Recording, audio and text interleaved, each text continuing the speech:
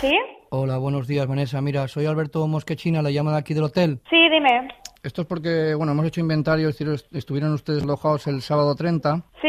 Y hay una serie de desperfectos que no comunicaron. ¿El qué? Una bombilla rota, el secador se ve que lo quemaron, falta un cenicero, se ha bloqueado la caja fuerte, faltan bebidas del minibar. No teníamos nada en la nevera, ¿eh? Estas cosas pueden pasar, pero lo normal es comunicarlo. Y tenemos que haber roto la, la bombilla nosotros, Hombre, por no supuesto. hemos tocado la luz. Por supuesto, porque hay un servicio de habitaciones que pasa incidencias cada vez que arregla una habitación. Yo Con- soy peluquera, ¿vale? Qué casualidad. Y cuando se me... que No es ninguna casualidad. No, no, digo que qué peluquera. casualidad que es peruquela y usted ahora me está hablando, me va a dar usted clases a mí de cómo funciona el secador. Le estoy diciendo que el secador me parece correcto porque si lo he gastado y dice que se ha quemado, pues no lo sé. A mí no me salió humo ni explotó. Y el secador funcionaba. Sí, pero escúcheme, tú lo has dicho, usted lo ha dicho, no explota, atrás- pero no explota. Perdona, el secador Eh, con la me vaya tapa usted a dar lecciones. atrás... Te doy lecciones porque justamente de esto entiendo. ¿Pero qué va a entender? ¿vale? Usted entenderá de cortar pelos, pero no de un secador, de una cosa electrónica. ¿Perdona?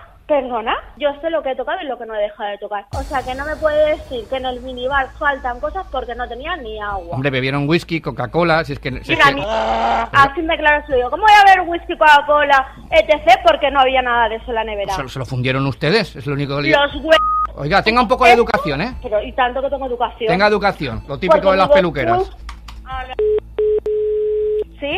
Yo- a mí me da igual, esto yo lo paso a la Guardia Civil y ustedes ya se apañarán. eh. Yo le estoy diciendo que lo del secador, vale, pues puede ser. Luego Ya van saliendo las cosas, No, ya no. van saliendo, ya van pero saliendo. si le estoy diciendo que lo del secador puede ser. Es que si, si hubieran tenido cámaras de vídeo lo hubieran visto. Entonces sí que habría quedado usted en evidencia. Pues mira, pues hubiera quedado en evidencia en, en lo del secador. Pero en lo de le la estoy bombilla, en lo del rayajo en el mueble que han hecho, ¿eh? Pero como voy a hacer un rayajo en el mueble si no estuvimos casi de tiempo en la habitación. Yo que sé, a lo mejor le cogió, le cogió su, su marido y lo empotró contra el mueble, yo que sé. Te puedo asegurar que lo que, si hacemos cosas no es tan salvaje. Usted de cortar de pelos me podrá usted dar muchas lecciones, pero de esto no. Yo no estoy poniendo en duda su oficio y usted está diciendo todo el rato que las peluqueras, las peluqueras, la peluquera. ¿Usted se piensa que aquí somos tontos? El que me está tratando de tonto es usted a mí, ¿vale? Te estoy diciendo que en el minibar yo no tenía bebida, que no tengo por qué pagar.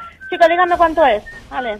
Yo tengo educación y no le sirvo a nadie el oído. ¿Cómo? Que me diga lo que es. 195 euros, ya se lo he dicho. Dígame dónde le tengo que cargar y yo le cargaré. ¿Quién tengo que cargar yo Que ahora? me diga dónde tengo que hacer el, el, el ingreso. Que no me sirve, oiga, que tenga educación. Oiga, que yo no, me estoy, sirve. yo no estoy silbando. No, está silbando el vecino de al lado. ¿Quiere que se lo cargue yo? No, le estoy diciendo que me diga dónde lo tengo que cargar. Lo tiene usted que cargar en Anda ya, de los 40 principales, Me voy a cagar. Hostia, ¿eh? y que lo escuche toda España, que si está en Bernardino. ¿Y eso de quién ha sido? Madre mía. Espera, que te pase con él.